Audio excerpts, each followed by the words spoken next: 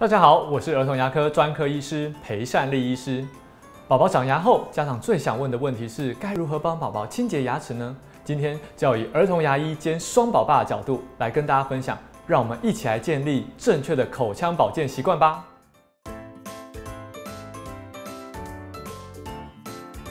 如果牙膏不小心吞下去，或是不会漱口怎么办？牙膏本身一定是可食用的，而根据美国儿童牙科医学会的建议，三岁以下每次使用米粒大小的量，三岁以上可以用到豌豆大小的量。即使一天早晚刷牙两次，对孩子的身体也是不会有影响的。由大人控制量的使用，才不会有过量的风险。